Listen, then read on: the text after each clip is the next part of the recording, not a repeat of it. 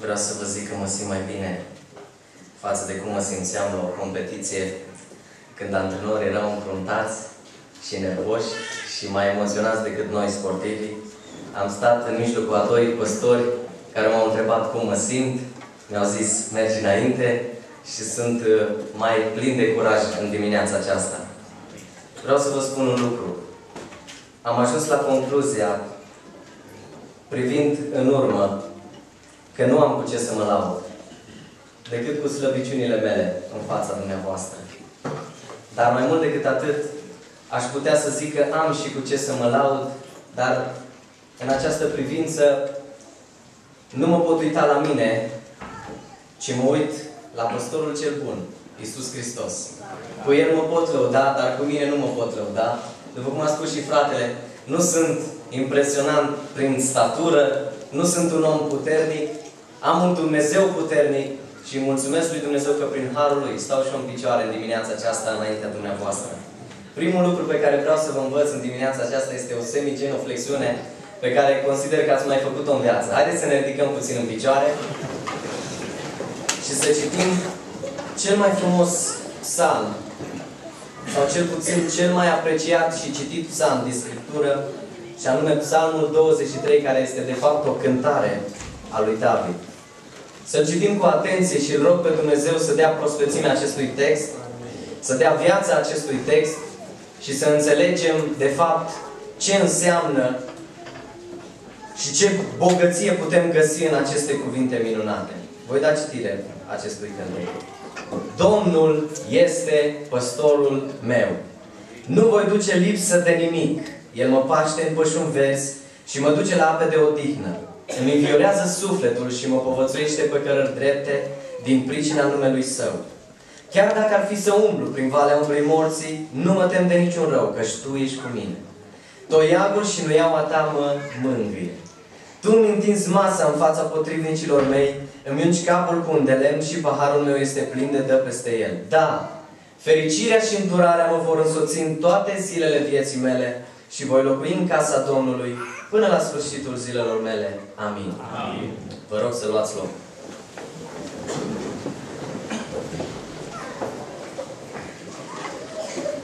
Gata cu sportul pe dimineața asta. Dar vreau să mai aduc aminte celor care nu au fost aseară despre un scurt palmares din cariera mea de sportiv. Am făcut gimnastică artistică 22 de ani. Am câștigat peste 200 de medalii. Am fost multiplu campion național. Am fost medaliatele europene și mondiale. În 2005 am fost cel mai bun sportiv al clubului Steaua al Armatei din București. Am fost declarat de Federația Internațională de Gimnastică gimnast de clasă mondială. Nu știu dacă am zis maestru emerit al sportului și multe alte cupe, trofee și așa mai departe. Vreau să vă spun cu toată sinceritatea, consider că stau în prezența lui Dumnezeu, că de cele mai multe ori când trebuie să ies în față și să predic și să vorbesc despre cum a lucrat Dumnezeu în viața mea, îmi tremură picioarele. Știți de ce? Nu neapărat că sunteți dumneavoastră în fața mea, ci cu atât mai mult că stau în prezența unui Dumnezeu care vede toate lucrurile. Și îi mulțumesc că și în dimineața aceasta am conștiința curată și inima bună și pot să vorbesc despre El. După cum am spus, cu toată sinceritatea vă spun că cea mai înaltă treaptă a podiumului de premiere este Golgota. Am avut satisfacții în cariera mea de sportiv pentru că am muncit mult. Să stai șase ore într-o sală de gimnastică, poate de multe ori cu niște oameni care nu te apreciau și cu niște oameni care te dădeau la o parte, accidentat de multe ori, am avut atât de multe eșecuri în viață că nu credeam niciodată că o să mai ajung la un campionat mondial, dar vreau să vă spun un lucru. Eșecul nu a făcut altceva decât să mă formeze, să mă pregătească pentru viață și să mă facă mult mai puternic. Eșecul nu face altceva decât să te ajute să fii mult mai umil și mai smerit în viața asta. Păi după ce încep cu o cântare, cum am început în dimineața asta, nu mai ai curaj să te dai mare, să spui multe lucruri despre tine, nu? Dar îi mulțumim lui Dumnezeu că putem spune multe lucruri minunate despre El. Binecuvântat să fie numele Lui. Pentru cei care n-au fost aseară, m-am născut într-o familie frumoasă pe care o iubesc din toată inima. Mulți copii, 14, 7 fete, 7 băieți.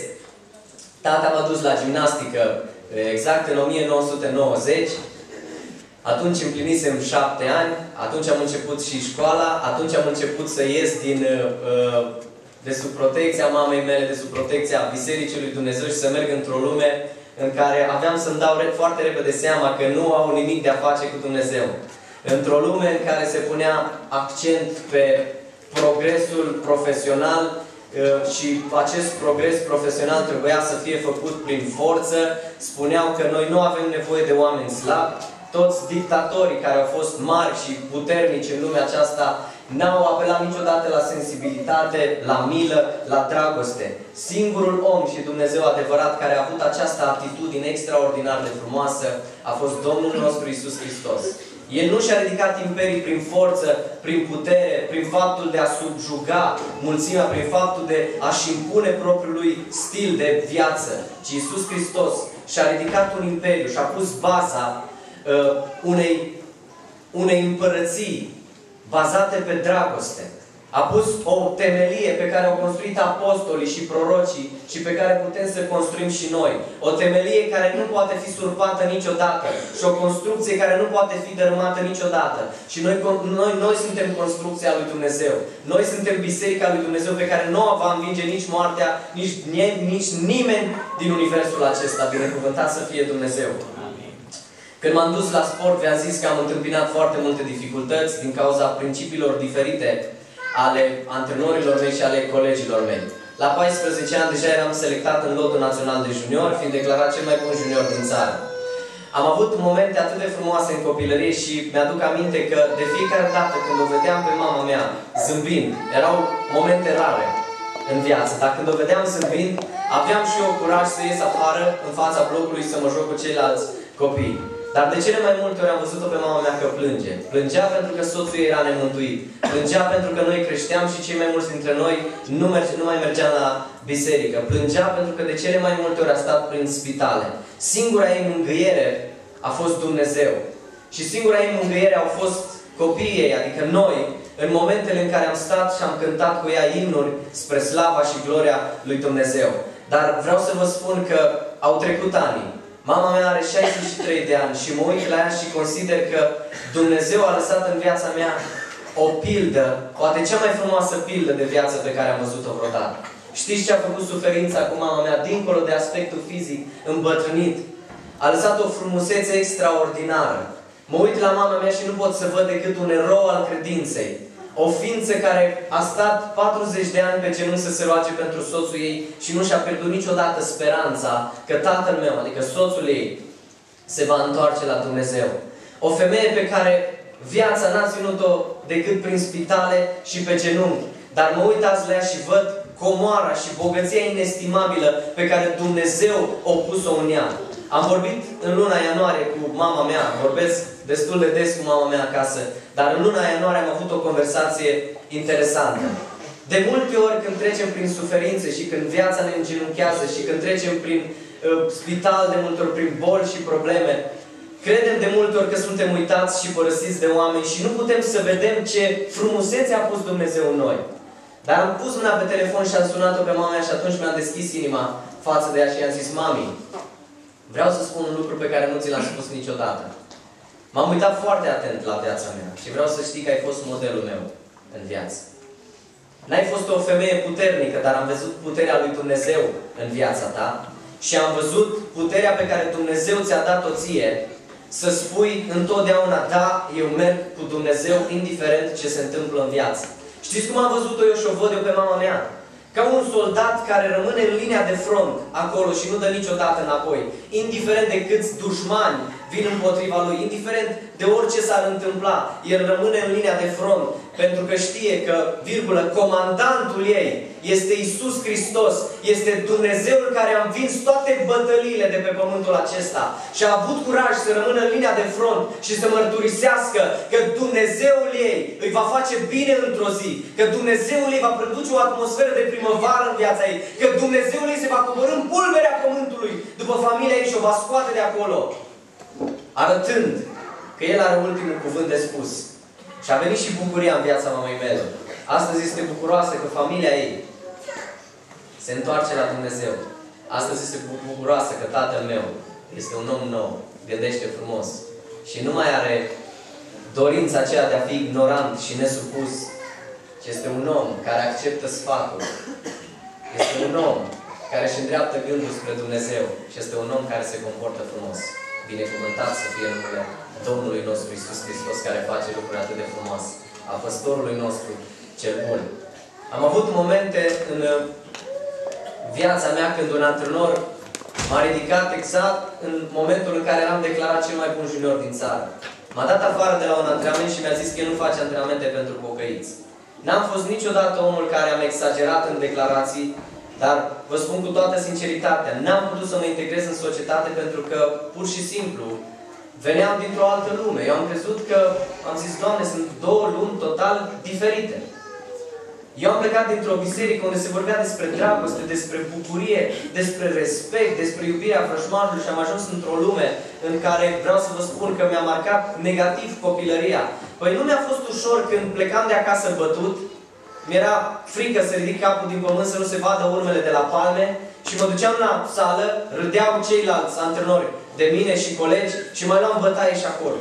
Că nu e ușor să vezi că visele tale frumoase pe care Dumnezeu ți le pune, aceea de a deveni predicator într-o zi și de a cânta spre slava lui Dumnezeu, se frâng pe zi ce treci din cauza unor oameni care aveau mintea închistată, mintea înfundată din cauza principiilor și alegerilor pe care le-au făcut la un moment dat în viață.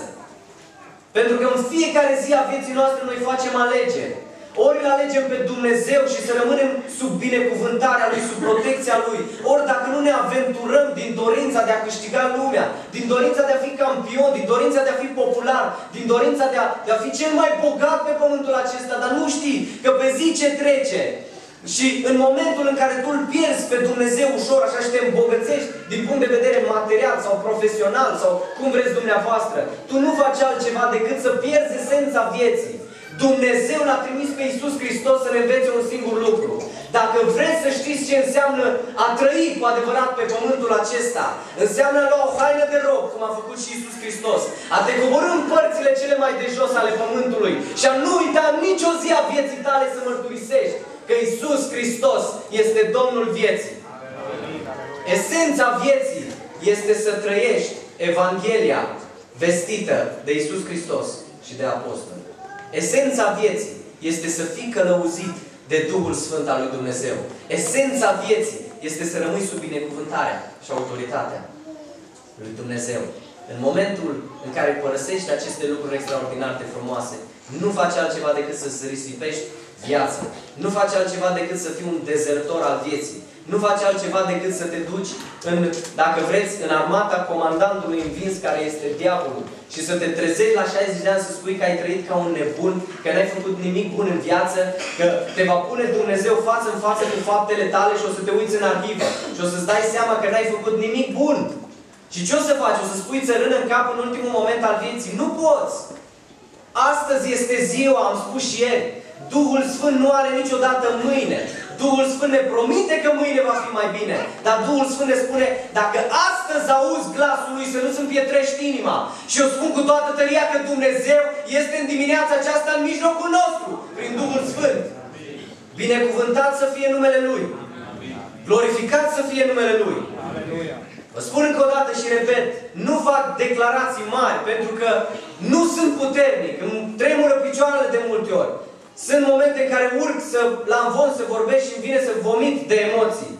Dar vorbesc cu toată puterea pentru că îl am alături de mine pe păstorul cel bun, care mă duce la ape de odihnă și mi înviorează sufletul.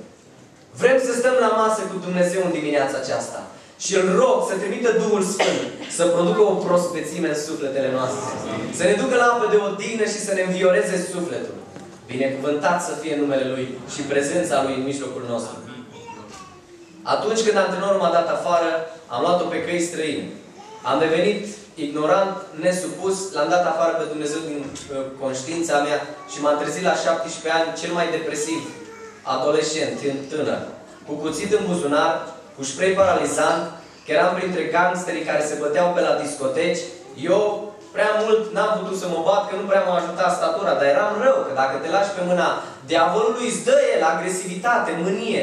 Mai ales după ce te duci și consumi alcool, începi să crezi că lumea e a ta. Dar de fapt nu știi că tu ești un om care îți pierzi viața pe o nimica toată. Și am coborât printre oamenii cei mai periculoși. Vă spun doar câteva lucruri groaznice.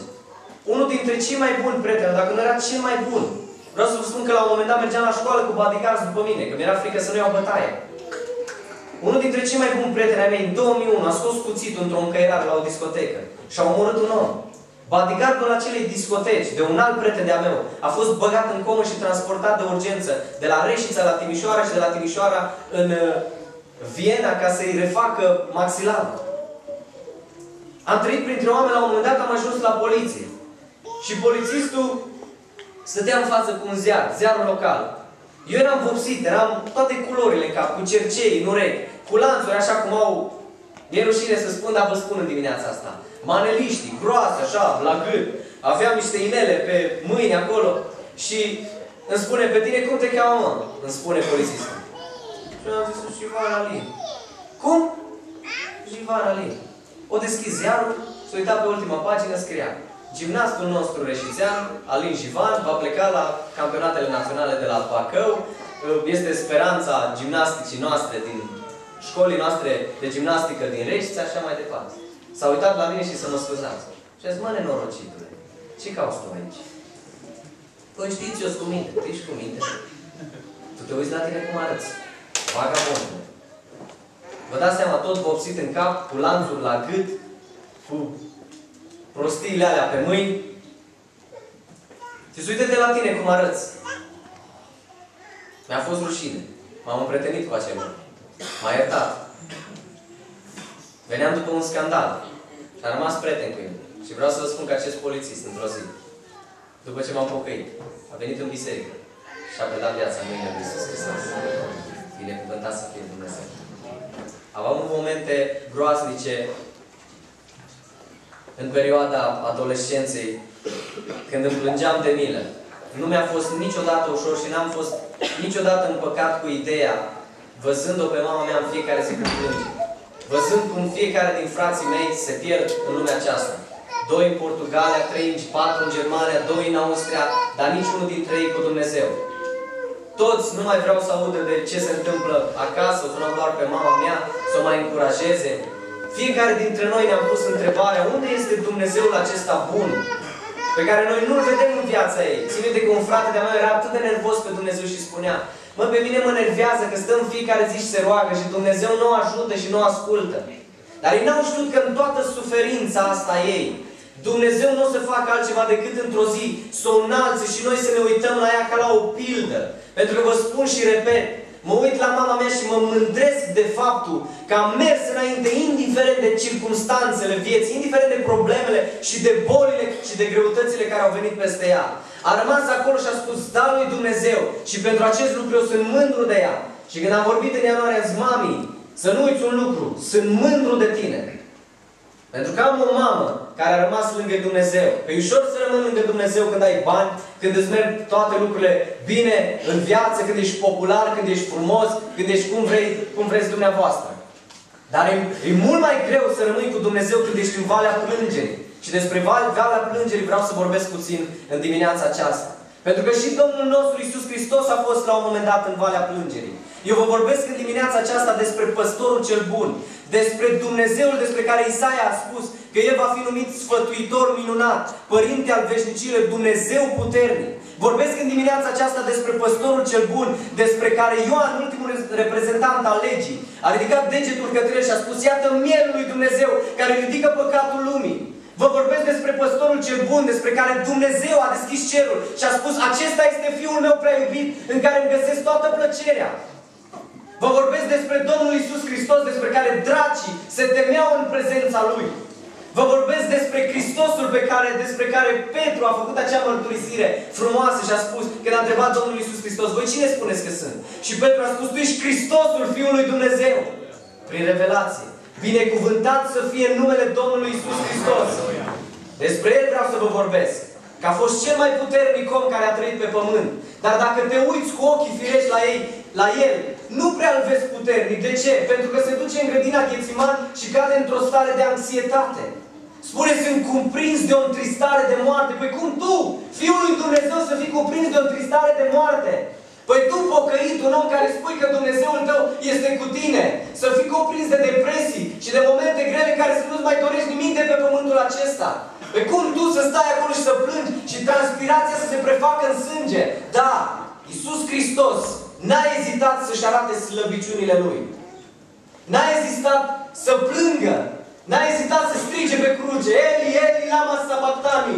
Adică Dumnezeul meu, de ce m-ai părăsit? Cum spunem și noi, există o vale a plângerii prin care a trecut și Mântuitorul nostru Iisus Hristos. Și putem să învățăm la El.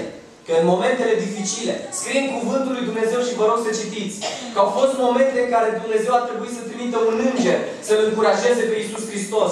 Noi vrem să luăm cina și mulți dintre noi suntem dezorientați. Suntem poate descalificați în ce privește atitudinea noastră față de Dumnezeu și față de uh, momentul acesta important. Poate suntem căzuți la pământ, poate că sunt mulți în biserici, pentru că am vorbit cu ei care spun mai puțin să-mi pierd credința, mai puțin să-mi pierd speranța că Dumnezeu va fi cu mine până la capăt. Vreau să vă spun un singur lucru în dimineața aceasta. Iisus Hristos e viu! Binecuvântat să fie numele Lui. El a venit în dimineața aceasta în mijlocul nostru să ne încurajeze să mergem mai departe, indiferent de ce va veni peste noi. Indiferent că vom cădea în stări de anxietate să se, facă, să se prefacă transpirația în sânge. El va trimite un înger.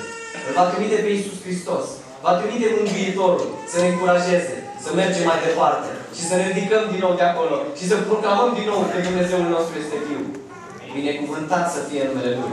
Îl rog pe Dumnezeu ca dimineața aceasta să curețe orice conștiință, orice conștiință să, să se simtă liber în prezența lui Dumnezeu și orice inimă, ca să putem să avem îndrăzneală înaintea lui Dumnezeu și să ne bucurăm. Glorificat să fie numele Lui Aleluia. și prezența Lui în mijlocul nostru.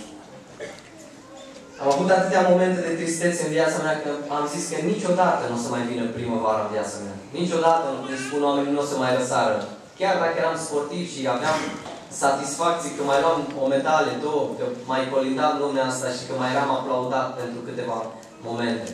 Dar când mă întorceam în singurătate, îmi plângeam de mine. Îmi plângeam de mine când știam că sunt cuprins de tot felul de teme.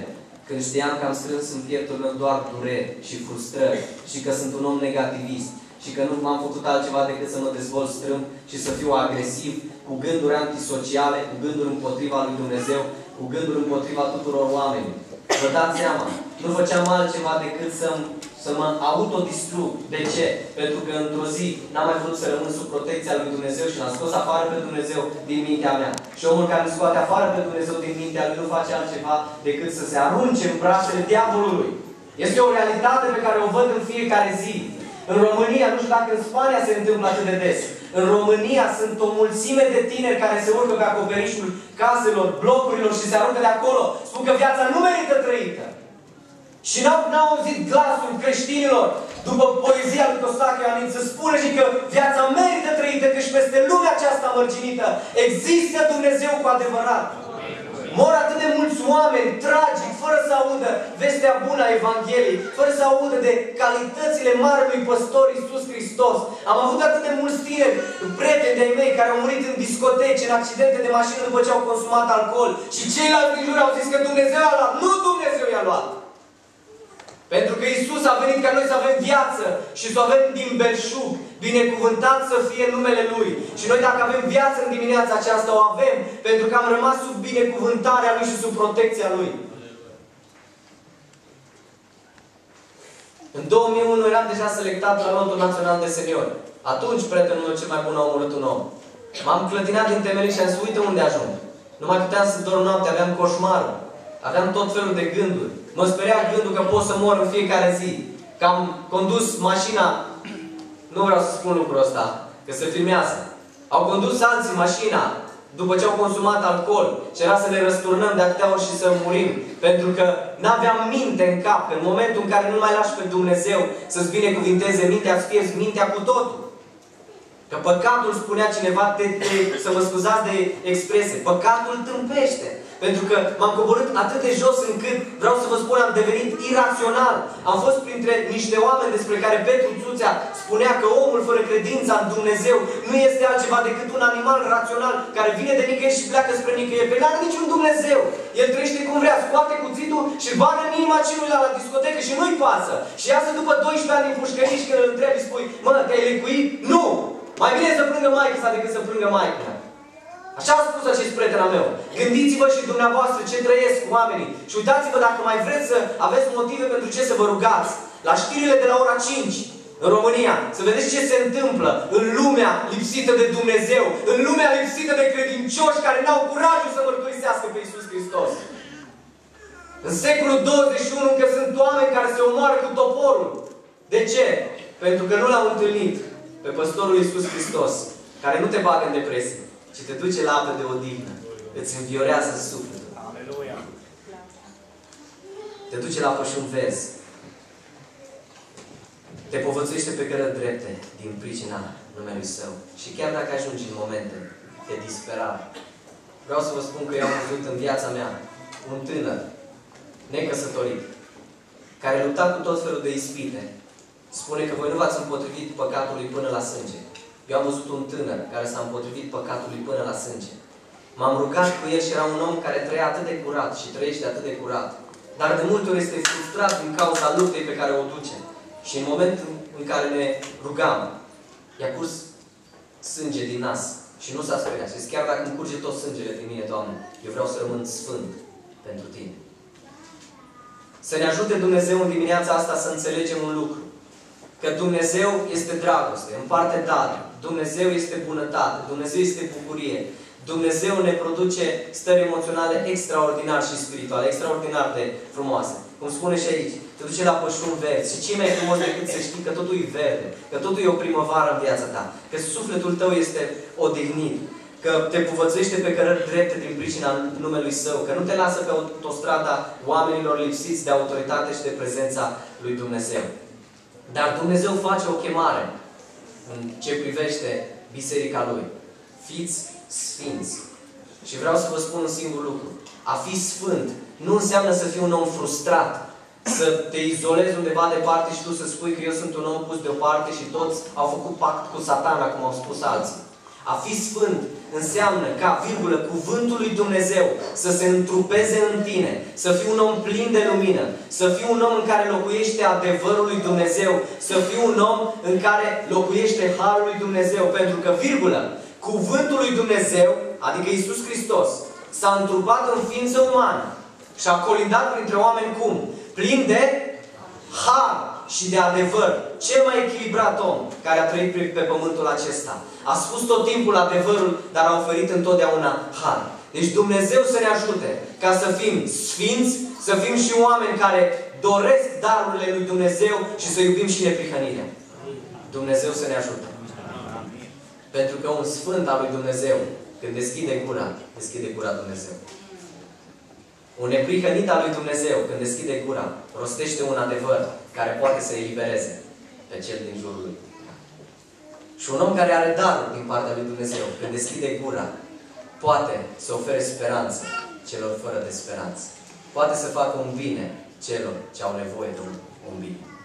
Slăvit să fie Dumnezeu. În 2005 am fost la un campionat mondial și am luat medalii. M-am întors acasă, de acolo. Nu mai vorbeam cu părinții, uram pe tatăl meu. Am plecat de acasă, am luat, am plecat de fapt, am fost în Melbourne, în Australia, am venit în București, m-am dus la Reis, am luat bagajele, am plecat de acasă. M-am urcat într-un compartiment de tren și acolo Dumnezeu și-a trimis Îngerul Lui. Un înger interesant. Eu cred că și în dimineața aceasta sunt îngeri printre noi și nu știm cum arată un înger. Știți cum a arătat pentru mine un înger? 83 de ani. Văduvă. Pe expresia feței se vedea dragostea lui Dumnezeu. Bucuroasă. Că într-o zi își va reîntâlni soțul în Împărăția lui Dumnezeu și bucuroasă că a avut un Dumnezeu care a sprijinit-o toată viața ei. Așa arată un înger. Mi-a zis, când a intrat în compartiment, după ce am așezat bagajele, mi-a zis, a zis, slăvit să fie Domnul. Când am auzit-o, mi-am dat seama. Eram într-un moment al vieții în care aveam nevoie de o încurajare, de o speranță. Și Dumnezeu a trimis o bătrânică. Scumpă. La un moment dat am început o discuție cu ea, o conversație și mi-a zis, Alin, eu am un obicei de fiecare dată când plec de acasă. Îl rog pe Dumnezeu să-mi scoată în cală un suflet căruia să-i vorbesc despre dragostea lui Iisus Hristos. Vreau să spun un singur lucru azi, Alin. Dumnezeu poate să facă din tine un om minunat. Știți ce a făcut această bătrânică? A scris cineva un articol. O bătrânică egal Alin Givan. Alin Givan egal lotul național de gimnastică. Lotul național de gimnastică egal sute, zeci, mii și să dea Dumnezeu cât mai mulți oameni pentru împărăția Lui. O bătrânică, poate, pe care oamenii din lume nu dădeau, nu îi dădeau prea multă importanță. Dar era o bătrânică care venea din prezența lui Dumnezeu și avea impact. Și dacă stau azi în fața dumneavoastră să știți că acea bătrânică mi-a stricat sărbătorile de iarnă și m-a făcut să pun mâna pe Scriptură să văd câtă frumusețe există în Dumnezeu. Un Dumnezeu care m-a învățat să-mi sun mama acasă după atâția ani de pauză, că doi ani când am plecat în București n-am sunat. Mă suna disperată și nu mai răspundeam la telefon, eram tot timpul prin discoteci și tot timpul făceam tot felul de prostii. Și Dumnezeul acesta m-a învățat să sun acasă să-i spun sărut mâna mă. Te iubesc. Îți mulțumesc că tu ai stat pe genunchi atunci când eu eram căzut. Am un Dumnezeu care m-a învățat să-mi sun și Tată, dincolo de probleme pe care le-am avut cu El și să îi spun Tată, în 24 de ani de zile nu ți-am spus niciodată că te iubesc. Îți spun că te iubesc din toată inima. Pentru că în mine este Duhul Sfânt al lui Dumnezeu. Și Dumnezeu m-a învățat să trăiesc frumos. Slăvit să fie numele Lui. Vorbim despre păstorul cel bun. Vreau să vă spun că acest psalm l-a scris David, nu când a fost rege. Nu când avea sceptru în mână, coroana de împărat, haina aia moale, nu când era popular, nu când era în toată bogăția faimei lui, nu. David acest, a scris acest psalm când a fost fugărit de fiul lui. Când a fugit și a lăsat împărăția lui după ce a păcătuit. David a scris acest psalm pentru că un psalm atât de frumos ca tu să spui că Domnul este păstorul tău și tu să iei o poziție de oaie, nu poți să scrii din poziția de rege. Pentru că ești rege, te simți în putere. Când ai bani, te simți în putere și n-ai nevoie de Dumnezeu. Dacă îmi pierzi totul, nu ajungi decât să fii o oaie, din nou. Și David fugărit acolo, aducându-și aminte de momentele când era el păstor și păstorea puținele oi, după cum spune cuvântul lui Dumnezeu, pe care le avea. Și a adus aminte că atunci când venea leul și ursul să răpească o oaie, alerga și le dădea o mamă de bătaie de nu mai știau și fugeau și lei și urși. Și David a ajuns într-un moment al vieții să, să fie fugărit de lupi și de urși. Și ajunge David la un moment dat în poziția de oaie. Și primul lucru minunat pe care îl face David de acolo, ajunge să aibă una dintre cele mai frumoase revelații. Și spune el, Domnul este păstorul meu. Chiar dacă sunt fugărit, chiar dacă sunt disprețuit, chiar dacă sunt un nei ca nimeni astăzi, Domnul este păstorul meu. De ce spunea David lucrul acesta și este cel mai acreditat să spună lucrul acesta? Pentru că el a fost păstor și avea cea mai bună experiență de viață în ceea ce privește a păstori o turmă. Și știa că dacă el a făcut atât de multe lucruri bune pentru turma lui, cu atât mai multe lucruri va face Dumnezeu pentru el. Nu voi duce lipsă de nimic, chiar dacă sunt fugărit și n-am bani și chiar dacă stau la etajul 8 în București după ce am terminat sportul de performanță și am rămas total fără bani și am rămas într-o zi total fără pâine și am luat-o pe soția mea și am zis Floriu, m-am trezit într-o dimineață și mai mult de mai mult decât faptul că n-am avut pâine în casă, am văzut un soare care strălucea pe cer. M-am trezit dimineață și când s-a trezit și soția mea, vreau să vă spun că m-am dus duminică, înainte de momentul acesta, la o, o dimineață de evangelizare undeva într-un sat, lângă București. Și am întâlnit o bătrânică pe stradă acolo, care avea o problemă la picioare. Avea cangrenă, săracă, și spunea că soțul ei este în casă bolnav și el acolo. Și am stat de vorbă cu ea. L-am vestit pe Domnul Isus Hristos. Am plâns și ne-am rugat împreună și am vrut să plec. Și mai aveam câteva sute de mii. Ei au fost toți banii mei în zilele alea. Și m-am uitat la ea și am vrut să plec. Și am zis, degeaba i-am vestit cuvântul și m-am rugat pentru ea dacă n-am ajutat-o cu ceva. Și am scos jumătate din bani și i-am dat ei. Și am zis, las că eu mă împrumut dacă o să-mi trebuiască bani. Și am scos toți banii și i-am dat ei. Flori, să uitați, știa că sunt ultimii bani ai noștri. I-am dat ei și am zis Dumnezeu să vă binecuvinteze. Și am plecat și când m-am trezit dimineața, a doua zi fără bani. Nici bani de troleu nu aveam. Nici de pâine, cu atât mai mult. Și am luat-o pe Flori și am zis, Flori, hai să ne rugăm. Eu cred că Dumnezeu azi va face o minune. Ne-am pus pe genunchi și am zis, Doamne, eu cred că Tu ați face o minune. Nu ți-am cerut în viața mea bani și nici nu o să-ți mai cer dacă Tu o să-mi dai cât îmi trebuie, Doamne, ca să pot să trăiesc și să mă îmbrac. Dar am nevoie de pâinea de cea de toate zilele. M-am ridicat de pe genunchi, trebuia să plătesc și o chitară ca să pot să cânt și când m-am ridicat de pe genunchi, m-am dus și am încercat un card pe care nu l-am mai folosit de mult. Cred că cu, în timp ce eu mă rugam, pentru că cu câteva minute înainte să verific eu cardul, Dumnezeu a lucrat. Și federația mi-a băgat bani pe card. Și aveam 200 de euro pe card. Slăvit să fie Dumnezeu! Nu m-am bucurat niciodată în viața mea atât de mult pentru 200 de euro. Când altă dată aveam atâția bani și mă jucam cu ei. Dar m-am bucurat pentru că știam că vin din partea lui Dumnezeu.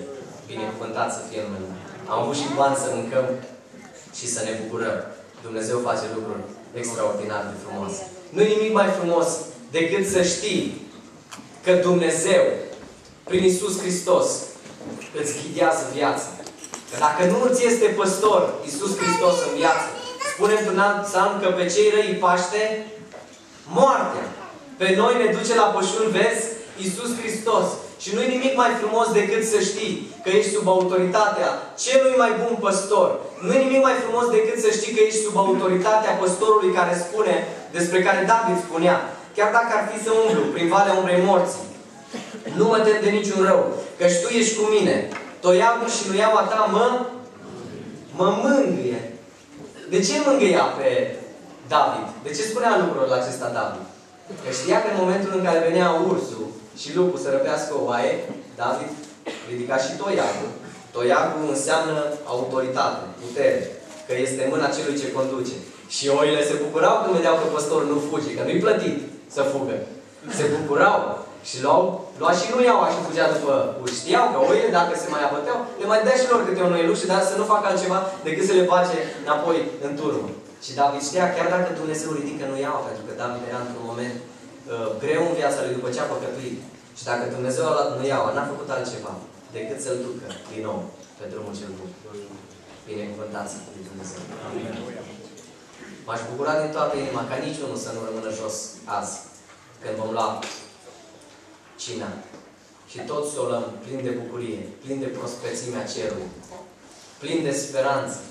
Da, fericirea și îndurarea mă vor însuți în toate zilele vieții mele și voi locui în casa Domnului până la sfârșitul zilelor mele.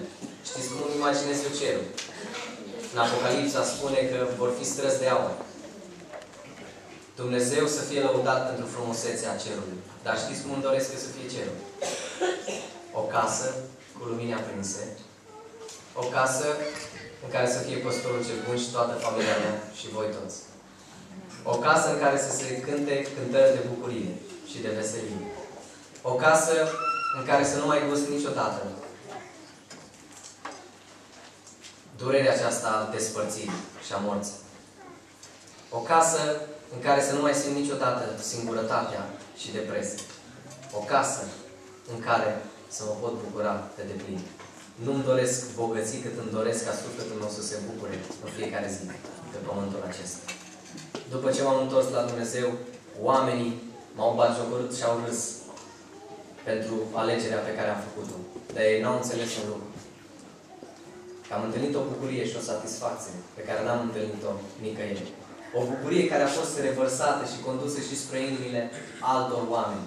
Și șapte gimnaști de performanță au mărturisit și ei că Iisus Hristos este Domn. Suntem într-o biserică penticostală care pune accent pe Duhul Sfânt al Lui Dumnezeu.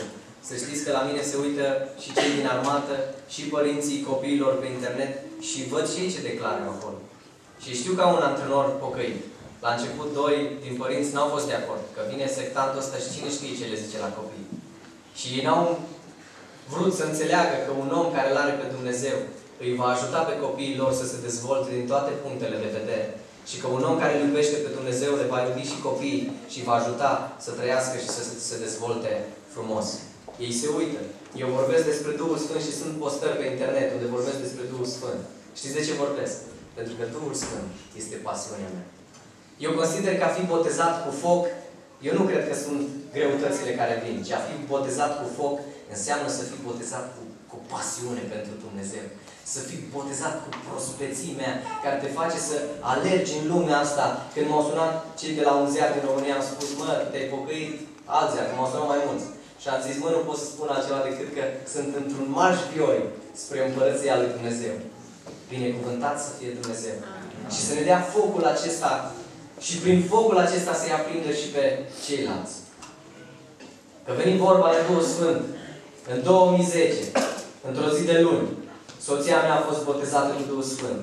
Marți, un coleg de-a meu, botezat cu Duhul Sfânt. Miercuri, un alt coleg de-a meu care a vrut să se sinucide într-o zi, chiar dacă era campion mondial. Botezat cu Duhul Sfânt. Sâmbătă, Dumnezeu ne-a vorbit și ne voi duce vestea pretutinde de felul cum lucrez eu cu voi. Și noi ne-am gândit că Dumnezeu va face semne și minuni. Că ne-am dorit, suntem copii și nu ne dorim semne și minuni. Ne dorim ca Dumnezeu să lucreze din nou cu putere. Dar știți cum a lucrat Dumnezeu? A lăsat-o pe femeia să ne, pugă, să ne pună pe fugă, să ne încerce credința. Și n-a fugit niciunul. Toți am stat lângă Dumnezeu. A fost ridicat în picioare unul din colegii mei. Cel care a vrut să se sinucidă. Pentru că l-a dat afară din lot că l-a găsit pe genunchi, că se ruga. Când ești botezat cu Duhul Sfânt, nu știi să faci altceva decât să te rogi. Și a zis, ori cu Dumnezeu, ori cu sportul de performanță. El a început să plângă și a zis, Doamne, dumneavoastră știți că într-o zi am vrut să mă sinucid? Că am căutat ajutor la oameni și nimeni n-a putut să mă ajute? Dar dumneavoastră mai știți că într-o zi m-am întâlnit cu Iisus Hristos și că m-a făcut bine. M-am întâlnit cu păstorul cel bun care m-a dus la apă de odihnă și mi-a viorat sufletul. Care m-a scos din depresie și m-a luat de pe acoperișul blocului și m-a dus în biserică acolo unde am fost vindecat. Puteți să mă dați afară, Doamnă, eu nu renunț la Iisus Hristos. Un alt cuplu, un cuplu de tineri colegi, la zis, de ce ați ales calea abstinenței? Nu vezi ce spun psihologii. Nu ne interesează, Doamne, ce spun psihologii, ne interesează ce spune Dumnezeu. Noi trăim cum spune în cuvântul Lui. Și pe noi puteți să ne dați afară. Noi nu renunțăm la Isus Hristos. Un altul i-a zis, te-am văzut în biserică. Umilule. Plângeai acolo, n-ai personalitate, pentru că te duci la concurs și ridici spectatori și telespectatori în picioare. Și te duci în biserică acolo și plângi. Nu vezi că numai tu și două babe mai urmezi calea asta. Și el a zis eu și două babe înainte. Slăvit să fie Dumnezeu. Vreau să mă apropii de încheiere și să vă spun un, un ultim gând. Într-o zi, un copilaș care trăia într-o familie dezorganizată cu un tată alcoolic și fără mamă, a primit un miel, un mielușel. Și acest mielușel, timp de câțiva ani, a fost cel mai bun prieten al lui. În fiecare zi traversa în America o pădure până la șosea, de unde lua autobuzul și îl ducea la școală. Singurul lui prieten și singura lui mânghiere era miel. În fiecare zi când se întorcea de la școală, mielul, credincios, stătea și l-aștepta. Însă într-o zi s-a întors de la școală și n-a văzut miel. S-a speriat când s-a uitat în depărtare, a văzut mașina tatălui său parcată. Știa că era un om agresiv. Un om alcoolic. S-a dus cu frică spre camioneta tatălui său și când s-a uitat în spate, a văzut mielul. Zonghiat. Era băgat în el o rană. Avea 11 ani copilul acesta. A fugit de acasă ca că lui nu-i trebuie un tată agresiv. Și că i-a omorât cel mai bun prieten. Mielul. S-a dus în lume și a devenit cel mai agresiv om dintr-un oraș din America. La un moment dat, la o încăierare, în fața unui restaurant, s-a bătut cu cineva și el a fost lovit aproape de moarte și a intrat în comă. În timp ce era în comă, Dumnezeu a vorbit și a spus, îți mai dau zile, te întorci pe pământ și trăiește cum îți spun eu.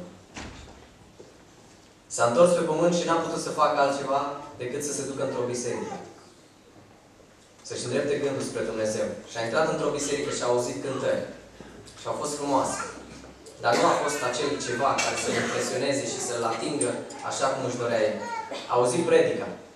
A fost frumoasă. Dar nici aceasta n-a avut impact asupra stării lui.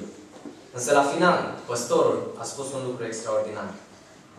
Iată mielul lui Dumnezeu care ridică păcatul lumii. Când a auzit de mielul lui Dumnezeu și-a adus aminte de mielul lui din copilărie. Și vă spun în dimineața aceasta ceea ce a spus și Ion. Iisus Hristos este mielul lui Dumnezeu care a ridicat și ridică păcatul lumii. El este păstorul nostru cel bun.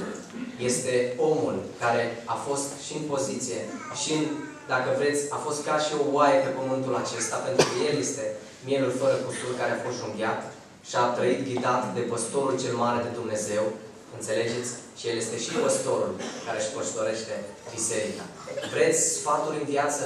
Alergați la Isus Hristos care dă cele mai bune sfaturi. Vreți să fiți binecuvântați? Alergați la Isus Hristos. Vreți revelații și momente extraordinar de frumoase? Mergeți la păstorul cel bun. Și nu mi-aș dori altceva decât să știu că viața noastră, dincolo de greutăți, nu este altceva decât un cântec de bucurie. Și la finalul vieții noastre, și de azi înainte, până la finalul vieții noastre, să spunem următoarele lucruri. Da, fericirea și îndurarea mă vor însoți în toate zilele vieții mele și voi locui în casa Domnului până la sfârșitul zilelor mele. Iar mai sus spune, Tu îmi întinzi masa în fața potrivnicilor mei, îmi ungi capul cu un delem și paharul meu este plin de dă peste el. Și cu asta închei.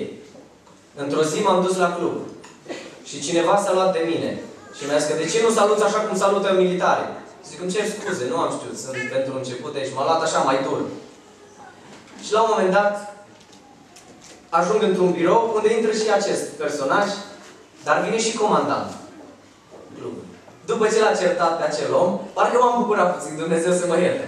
Dar a venit la mine, comandantul, și a pus mâna pe umărul meu și mă ținea așa lângă el. Tu mi ungi capul cu un de lemn, tu mi întinzi masa în fața potrivnicilor mei și îmi ungi capul cu un de lemn și paharul meu este plin de dă peste el. Nu-i frumos să știi că într-o zi Dumnezeu te va lua de gât și toți dușmanii și vrășmașii care au râs de tine că ești un pocăit sectant se vor uita cu jind la tine. Și tu stai sub arifa unui Dumnezeu bun. A celui mai bun păstor. Dumnezeu să vă binecuvânteze. Amin.